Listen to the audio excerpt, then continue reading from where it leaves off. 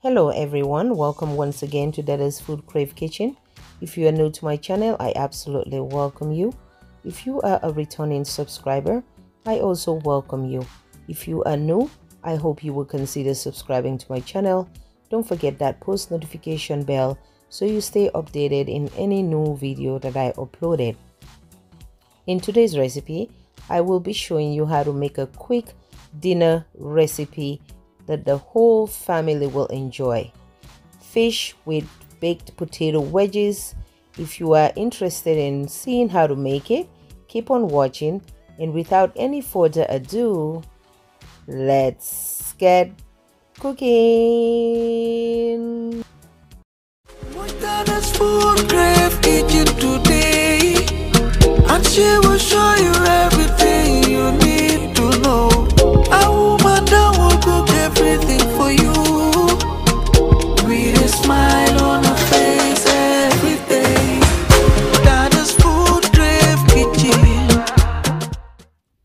Alright, my Dada's steam, let's start with our first ingredients. You are going to need potatoes, of course. So you want to buy the potatoes that are baking potatoes. You see, it says baking potatoes. All right. So now next what I'm going to do is I am going to wash the potatoes. I'm going to scrub the dirt off the potatoes because it comes in very dusty and like dirty. So, I mean, because I'm not going to take the skin off the potatoes, I'm going to bake the skin on. I'm going to leave the skin on the potatoes. So you want to make sure you scrub the, the dirt off. So I have this sponge here that I purchased from Walmart. I mean, it is so soft. You see, it's not even hurting my hands. I purchased it purposely just for, you know, times like these when I want to scrub potatoes or just to clean up my vegetables. All right.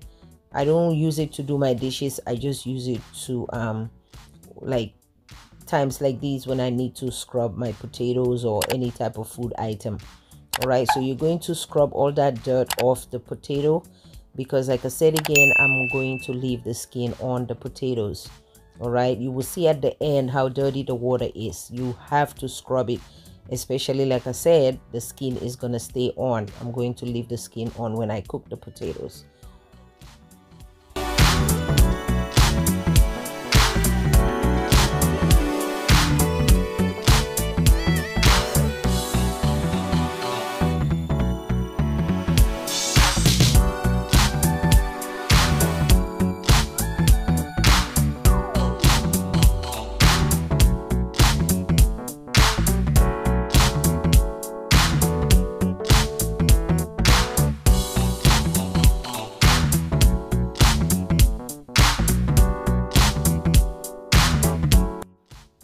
Guys you see how dirty the water is? This is why i said you have to scrub the potatoes. You have to wash it like wash it. Not with your hand. If you can find a brush that's soft that you can scrub all that dirt off that would be great because it scrubbed all that dirt off from the potatoes. All right so i went ahead and rinsed it. Now let's move on to the next step. This is a quick easy dinner recipe that the whole family will enjoy and it is so delicious guys. It's a must try so after washing the potatoes you want to make sure you pat dry them with paper towel.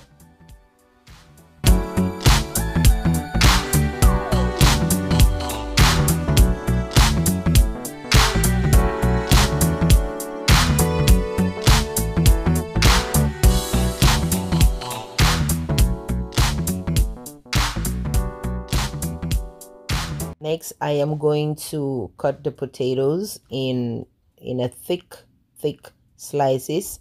I'm going to give it that julienne cut which is the potato we call it the potato wedges actually. So you see i'm only cutting it into, into a julienne cut in a very thick slice like so.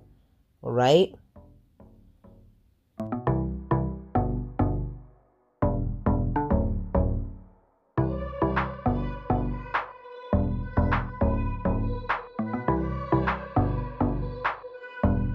do is spread the potato out like so and sprinkle some extra virgin olive oil on the potatoes.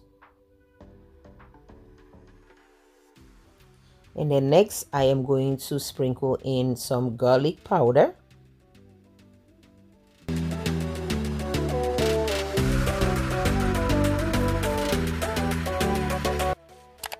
Then next I'm going to sprinkle in some onion powder.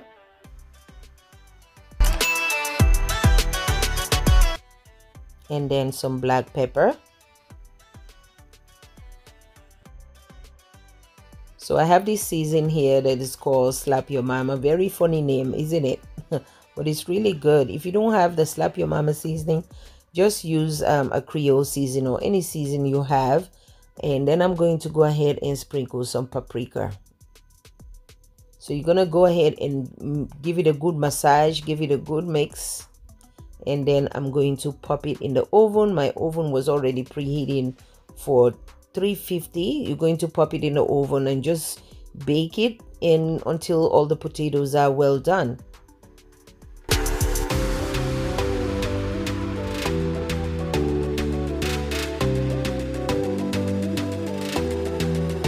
So meanwhile while the potatoes is going in the oven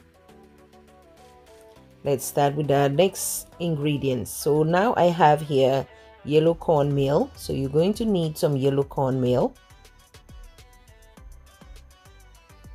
i'm not measuring. I'm just gonna pour enough um, cornmeal on my on the plate there. Then i'm going to use the same exact seasoning that i use for the potatoes. But here before that i am going to um, sprinkle in some um, mashed potato powder. You can use potato flakes if you want. Since i can't find any potato flakes i am just going to use some mashed potato powder. And the one that i'm using here i i didn't open the the plain one. The one that i'm using here as you notice i am picking up some stuff from the um, potato powder. It's because of this one is the buttery one. So those things that i'm picking from the potato um from the mixture they are butter dry butter so then i'm going to go ahead and sprinkle some onion powder garlic powder the same seasoning that i use for the potato and some um, paprika salt and black pepper. That's all you need. But make sure you don't forget to sprinkle in the um, potato flakes. If you have potato flakes that would be perfect. If not just use um you know mashed potato powder, dry mashed potato powder. So use the same exact seasoning that you use for the potato wedges and um, mix everything until it's well combined.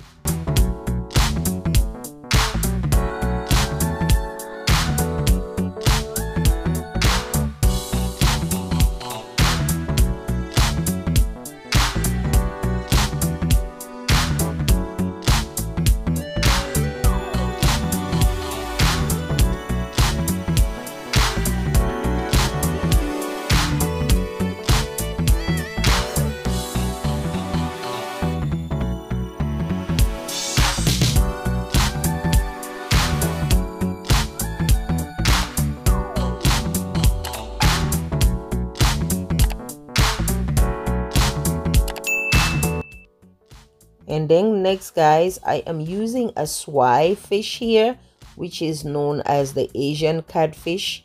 You can use any fish of your choice. You can use catfish codfish um, tilapia fish fillet whichever fish you have. Like i said i'm using the fish called swai. All right? That's what i'm using for this recipe. So what you want to do is since the fish is a little damp um, I'm just gonna go ahead and coat it into the cornmeal mixture. You want to make sure you get every nook and crannies into the fish. Coat it until it is well coated all right? Coat everything really good until it's well coated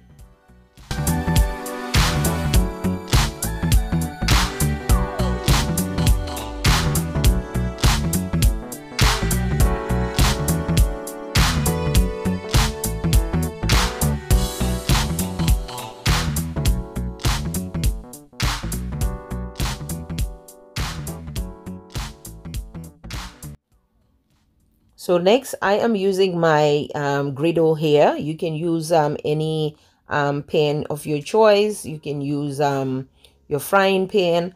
But because I'm trying to avoid putting a lot of oil and besides the fish is very long and my frying pan is not that long and I don't, you know, I don't think it will fit but if you have a wider um, frying pan that would be perfect like i said i'm using my um, griddle here because the fish is very long. I want it to be like i want it to lay really really flat. And then you're gonna pour in a little bit of oil not much oil at all. Like i said this recipe is so easy to make and i mean it's healthy you know what i mean? So you're gonna use a little bit of oil and until it's hot and then you um you just fry the fish um in that little bit of oil until it is well done on one side and then you flip it to the other side until it's golden brown. So meanwhile i have my peas here. I have frozen peas. I am going to put it into my bowl there and then i'm going to add some butter.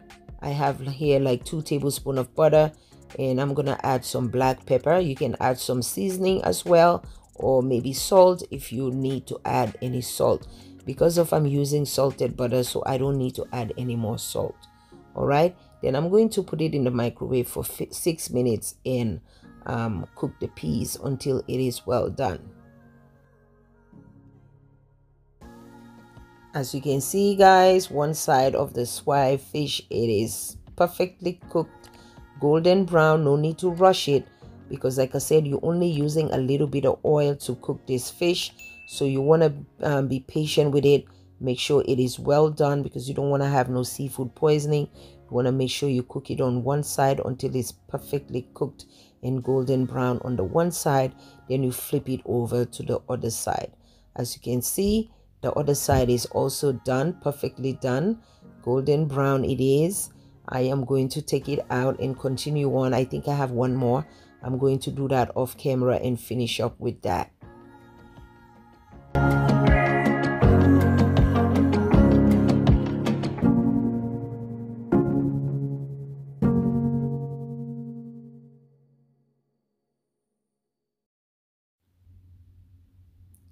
and guys my um, potato wedges is out of the oven. It is well done as well. It has a very um, light golden color brown to it and it is well done. As you can see i'm gonna break one and show you guys how well done it is.